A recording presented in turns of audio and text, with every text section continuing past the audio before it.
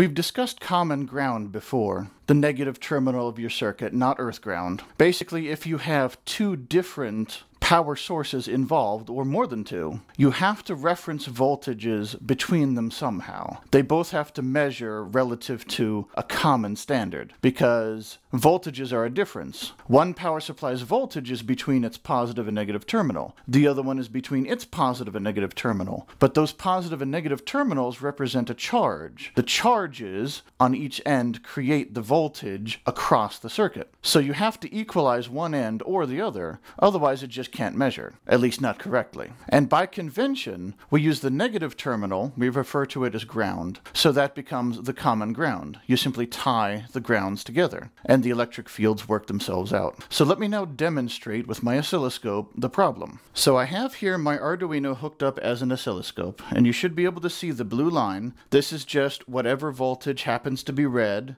by the analog port with nothing plugged in. You can see it move slightly as I move the Arduino around. I've got it set on 64, whereas the true resolution is 1024, just so it's more visible. If I plug something in, just a loose wire, to the analog zero port, then you can see it act as an antenna and pick up the variations. I hope this is clear enough. It's a little hard to do picture in picture. But in any case, what I'm going to do now is turn on my power supply, not the Arduino power supply, but my bench power supply. And I'm going to use my potentiometer breakout board. I'm just going to connect it so that I have a simple voltage divider that I control by turning the knob up and down. And I'm going to measure that with the Arduino. So let me go ahead and turn my current limit up so it starts generating the voltage. 10 milliamps will do at 5 volts, which matches the Arduino's power. So now I'm going to hook one side of the potentiometer to the positive from my bench power supply, the other side, so this is the two outside pins, the other side to the negative, again of the bench power supply, and then I'm going to take out this wire and switch over to one of my header wires so I can bring the middle of the potentiometer over to my breadboard. And I won't bother to add a resistor because the input pins are high impedance. So I will plug this into the analog port, and you'll see this is measuring a potentiometer that's not moving, and it's a waveform. This is not an antenna anymore, wiggling the cord does nothing, but we're getting a waveform. Let's make it even more clear. Now if I turn the knob, very little happens. Some strangeness is going on here. But what if I take one wire and simply connect from the negative of the bench power supply to the terminal label ground on the Arduino. And all of a sudden, we have a nice stable waveform. And as you can see, my power supply is drawing zero milliamps because of the high impedance input. It's drawing current, but it's too little for this to display. So now I have the potentiometer roughly in the middle, and we're getting a line roughly in the middle. So what if I turn it up,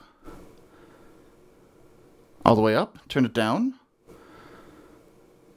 back to the middle, three quarters, one quarter, back to the middle. Now it's working. If I remove that common ground, we're back to a waveform. This is the common ground. The power supply, the bench power supply, is generating its voltage. However, the Arduino is getting voltage from the USB port, which is coming from the battery of the laptop, and whatever performance characteristics that has. Now, the battery power supply is likely to be much more stable. It's unlikely to be wavering like that, so it's probably the power supply. In fact, since it is a waveform, perhaps it's from the alternating current of the wall that's leaking through something. But the point is, 5 volts is being generated. And no matter how the charges vary, as long as there's always 5 volts, it works as if the power is perfectly stable. But if you have separate circuits, it's revealed, and this is when I touch the wire. You can see there's a variation there. So I'm changing the measurement that the Arduino uses. There's all kinds of funky stuff that goes on that I couldn't explain in detail without being a physicist. All I know is that if you hook the grounds together, it's measuring relative to a stable difference. However this varies, however the negative there varies, it's equalizing with this. There may be current flow,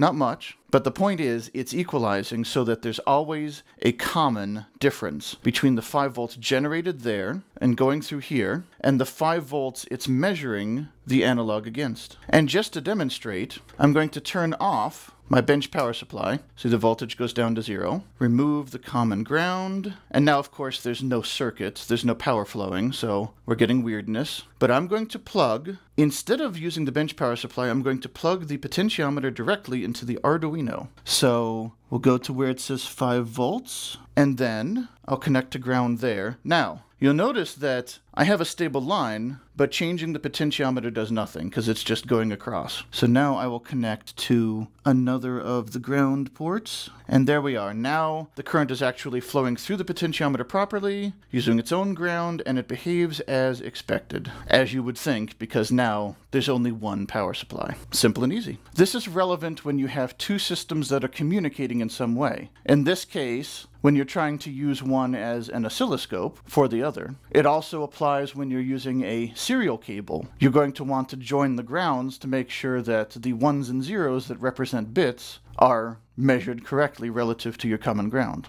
Having multiple power supplies does not mean you need to tie the grounds together. It's situational. Basically, when one is measuring a signal sent by the other one, that's when you need a common ground. When one is measuring the relative to the other. If you just have two different power supplies powering two different things, like an Arduino powering the base to emitter junctions of transistors, and then a bigger power supply running through the transistors to power the motors or whatever. That does not need a common ground because they're not measuring, they're simply providing power. And that's it. So, I'll be seeing you.